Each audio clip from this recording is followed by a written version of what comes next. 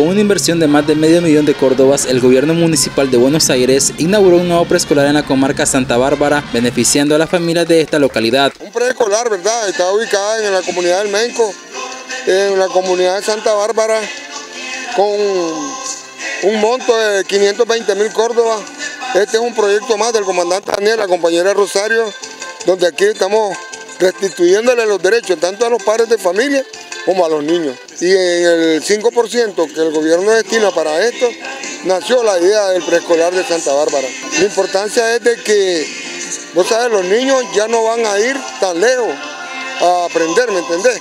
Y es una, un desarrollo más, una aula más de nuestra comunidad y esa es la importancia que, que le da a la comunidad.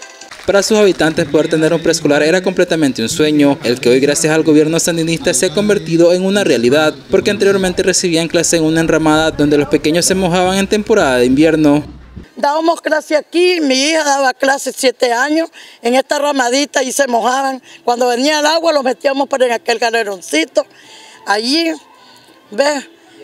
Y ahora todo cambia con esa escuelita tan linda, mire que le hicieron de, de de cerámica, le hicieron de cielo raso, que nosotros nunca esperábamos ver una escuelita así. Y los niños de aquí tienen que caminar, tenían que caminar como unos tres kilómetros.